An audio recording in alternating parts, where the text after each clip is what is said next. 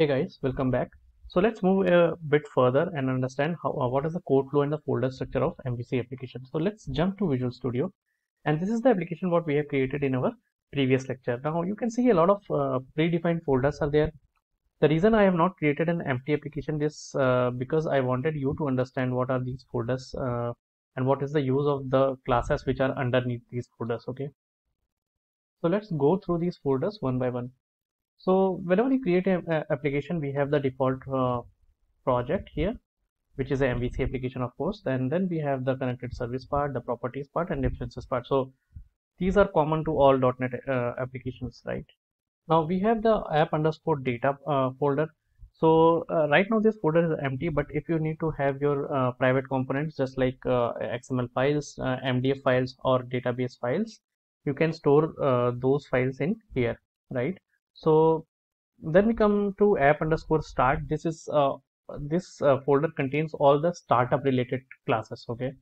So generally when the application is being called uh, let's skip this app start folder for now. Uh, we have global.asax file. Now this what does this global.asax file does is whenever we start the application the control of the application comes to this global.asax files first. So i have put a debug point in here and let's try to start the application uh, once okay so the moment it, uh, the application boots up, uh, nothing comes onto the screen and the debug point has been hit. So this is the application and uh, this application underscore start method is the first entry point of the application, just like a main method in the program class of a console app. Okay. So if you uh, see the code in application underscore start method, we have register all areas. This is uh, the first thing this application does is basically it register all the areas now we will understand what are uh, areas in MVC a bit later, but just for, uh, for now, you just need to understand that uh, this is the uh, this uh, this code uh, registers the areas first. Then we have the global filters. Again, the filters concept will come in later. Then we have something very important which is called as register routes, right? And the register bundles. Now these two lines, register config and register route config dot register routes and bundle config dot register bundles these two classes are present inside app underscore start uh, folder right? This is um, bundle config and route config and similarly the filter config also. So all the application startup data means all the data that's being modeled into a class those classes are stored in the app underscore start folder. But the entry point of the application is always global.asax file. So let's stop the application and go through the further uh, folders. So here comes the content folder. Now what is this content folder? Is basically whenever we create the application the application by default has some bootstrap files in it or the bootstrap is installed in the application right? Now what is a bootstrap again? Now bootstrap is a ui technology which is uh, which gives the application a very good look and feel. So initially when uh, microsoft started with mvc2 and mvc3 there was no bootstrap. Means there was bootstrap but yes they didn't include that in by default in the uh, mvc applications. Uh, the reason uh, uh, because of this reason the application were not so rich in ui part of it right? But they have included these bootstrap classes now and because of these bootstrap classes uh, the application look, looks very rich in ui uh, part right? Now remember in whenever when we in our previous lecture when we created this index class this was the jumbotron right? Uh, which we which i've shown in the previous lecture. And then we had the button primd and then we have the button default right? So button default looked as a, a transparent button and then button primd looked a very beautiful blue color of button right? So this uh, this is possible with the bootstrap. So these are the bootstrap classes. So if we would have created a empty mvc application these bootstrap classes won't uh, would not have been present there. But uh, since we have created the a full-fledged MVC application uh, that means Microsoft gives us a by default some bootstrap classes. Now if we have bootstrap installed in us so uh, in our application we also need the jQuery installed in the application. So by default we have this JS files of the bootstrap also installed. Now the uh, the moment if we need JS files we also need the jQuery installed in the application. So all these files of bootstrap and jQuery these are not installed by us. These are given by microsoft for our application right? When we uh, when we will proceed in this uh, further uh, lectures we, I will under, uh, I will make you understand how we can customize some bootstrap classes okay? Now let's uh, move to some other folders. Now let's go to controllers folder. So this is the folder which have all the controller. Now what is a controller? Again controller is the class which controls the MVC application. That means it uh, takes the data from the model and gives uh, gives it to the view right? Again uh, I, I, will be coming on to that just uh, be with me for some time. Then we have the fonts. If we need some fonts in our application yes we store those in here. Then we have the models. Again the data classes which are present uh, that should be present in the model so what do I need mean by model? Let's add a class in here. I will just say it a student class. Now a simple student class which has two properties. It says string and name. Then I'll copy this and make another property. And it will be int age right? Now consider if we are making an application. So this will be the model of our application right? So let's uh, for now just understand that uh, the, all the models all the domain classes that those are present inside a model folder right okay so let's move further. So scripts folders i have already explained you. Then we have the views folder right? Now if you consider uh, if you see it carefully we have the views folder and then we have a subfolder inside that is uh, that is called as a home folder right? And then there is a shared folder. Now what is this home folder is basically the more and more controllers you will create the more and more folders will be present in here. That those uh, folders will contain the views specific to that controller. So for example if i create a new controller. Let's say empty empty controller and then I will say it as a test controller okay? So it's creating a test controller for me.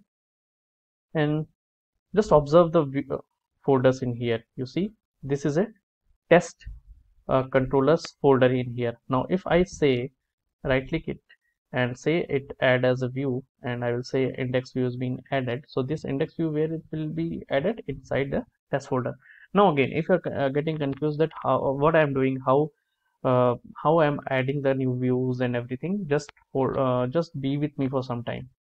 I will i'm just uh, explaining with the folder structures in here right? So we have this views folder and then we have uh, something called a shared also right? Shared folder. Now what is this shared folder is again uh, i've shown you this layout layout class in my previous lecture right now this is the this layout is a uh, as i explained it earlier it is just like a master page in asp.net like uh, it will give me a common look and feel. So all the views which are common or uh, all the shared views uh, that reside in the shared folder okay? So that's it from the views folder. Then we have something called as favicon.ico file. Uh, this uh, favicon.ico file gives me the icon in the browser link okay so then we have the global ASAX files that we have already spoken. Then we have something called as package config. Now what is this package config? Is basically uh, whatever package we have, something called as Bootstrap, jQuery, jQuery validation, everything which comes with us uh, with our application uh, by default, or we install some external packages. Those packages will be referenced in packages.config file. Okay, then we have the traditional web config file, which uh, in here we can uh, define the configuration of our web application. So this is all about the folder structure of MVC application. Now let's uh, quickly uh, go into the controller part and let's understand how the code flows in this uh, MVC application, right? So I've already shown you that there is an index view, then there is a about view and there is a contact view, right? Let's run our application and let's see where we were, right, in our previous lecture. So when we run it, so yeah this is uh, this is the test page what I have created for showing you right? So let's uh, go back to the home page. Okay.